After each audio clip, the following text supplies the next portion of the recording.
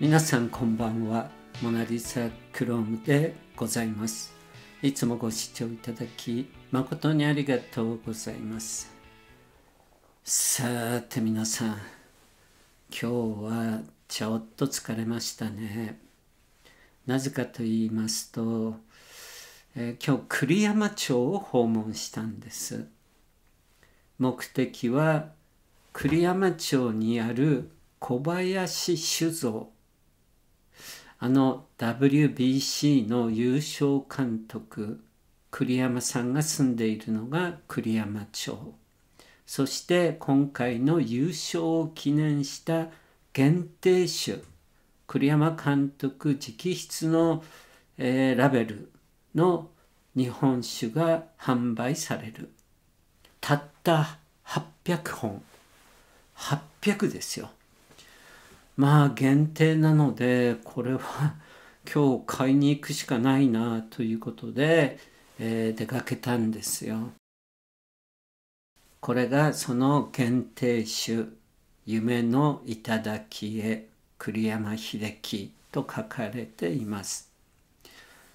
まあ、ファイターズが日本一になった時にも小林酒造さんで日本酒が出ました。それめっちゃ美味しかったんですよ。で今回も限定なのですが是非購入して飲ませていただきたい。一緒にね優勝をお祝いしたいという気持ちもあって伺ったんです。なんと道外から来ている方もいらっしゃいました。実は私の家札幌にあるんですけれどもこの家から栗山町まではだいたい40分あれば着きます。うん。まあ近いのでそんなに早く出なくても大丈夫かな。うん。まあ並んでる人がいたとしても数人だろうということを思いながら出かけました。ところが到着してみるとすでに長蛇の列ができていたんですよ。朝早くから来て整理券までもらっている人がいます。いや青ざめましたよ。これ買えるのかよ。でとにかく列に並んで係の人が近くを通ったので「すいませんあの私の列ぐらいまではどうですか？買えそうでしょうか？って聞いたんですよね。えー、そうすると「うん何とも言えません分かりません」っていう回答でした。まあ、私の後ろにも長い列ができてますし新たに新しい人もどんどんね、えー、来てるわけですよ。まあ2時間半ぐらい待たされましたね。あまりにも暇なので写真撮影をしてみました。まずそれをご覧ください。この小林酒造さんは私のお気に入りのモチーフになっています。ですから何度も撮影しこのチャンネルでも2回ほどスライドショーで写真を紹介させていただいています。小林酒造は北海道の清酒の先駆けとして明治11年に札幌にて製造業を開始しています。昭和に入ると販路は樺太満州にまで拡大しているんですよ。そして平成12年に札幌から栗山町へ酒造を移築し100周年を迎えたということになります。まあその間すごい苦労があったようですよ。なぜなら北海道は寒すぎて発酵が停止するほど過酷な環境と言われているからです。そんな苦しい中で北の錦などの名詞を生み出してきたわけです。さて私がこう並んでいる時にテレビ局の方がこっちから来たんですよね。であ俺の取材かなと思ったんですが真後ろの、えー、方を取材されていました。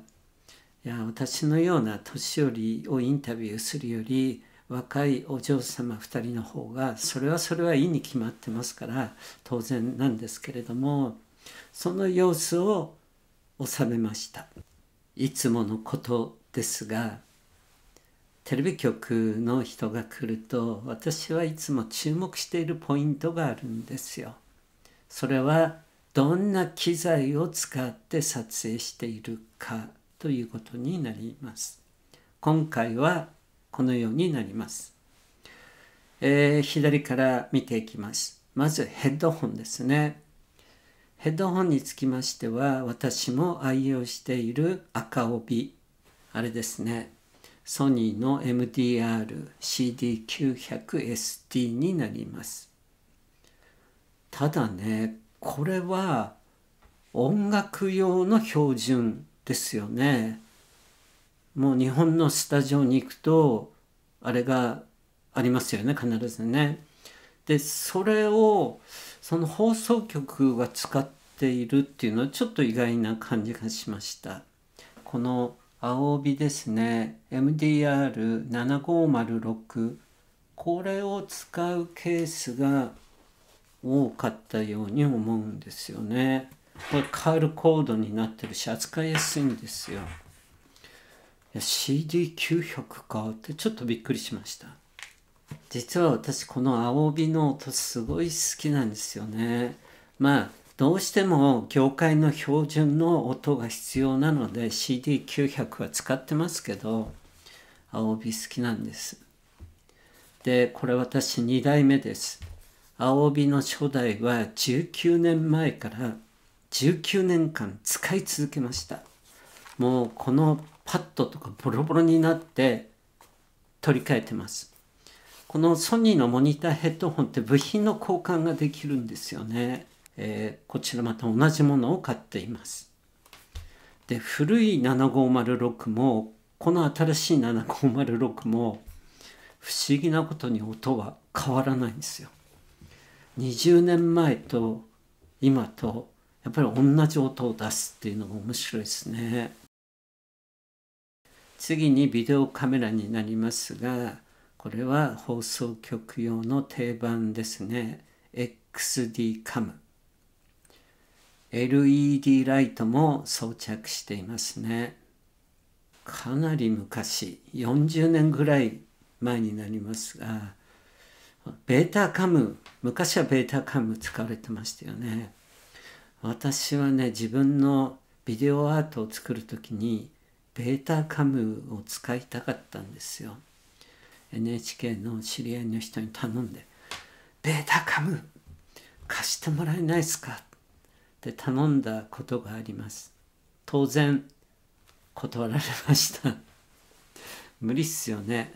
放送局の機材を貸し出すっていうのはそんなことできるわけないですね。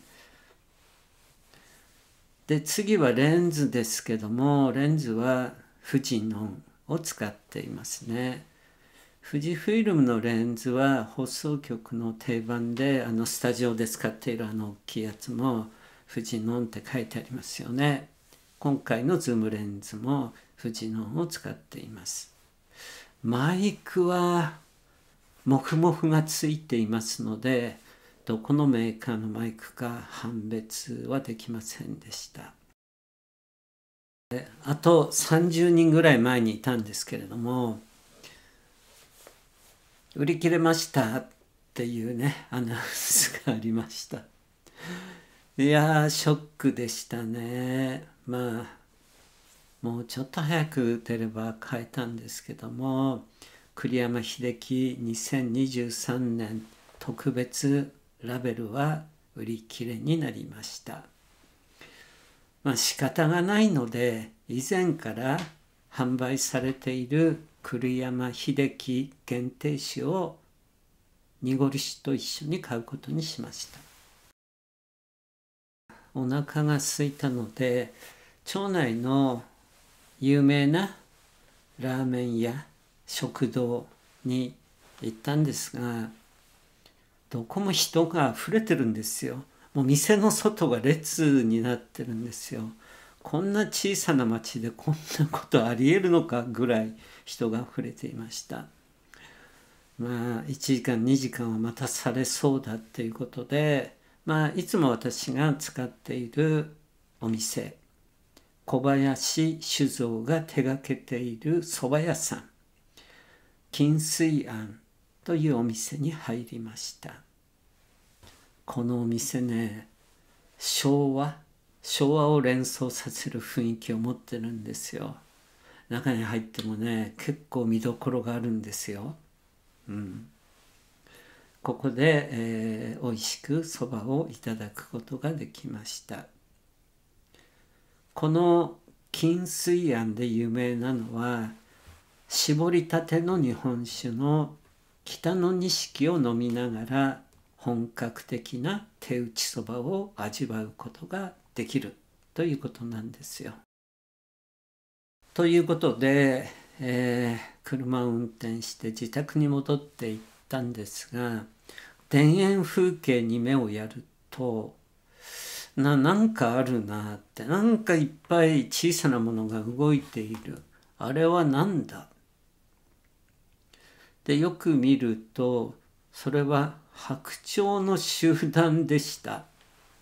この時期ね白鳥をやってきますね。それでカメラを取り出して撮影したんですけれども広角のズームレンズなのでまあこんな感じしか撮れなかったですねそれにしても白鳥の鳴き声ってうるさいっすよね あの美しい形とはねなんか真逆ですよね。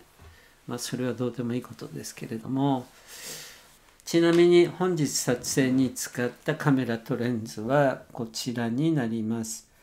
Α7-4 とタムロン 2040mmF2.8 というもう最近こればっかり使ってますね。これ合わせても 1000g ぐらいしかありません。それで第三元の F2.8 ですから非常に使い勝手がいいですねいい組み合わせだと思います ZFC が届いたら私はどちらを多く使うのかそれもまた自分なりに興味を持っているところです。今夜もご視聴いただきありがとうございます。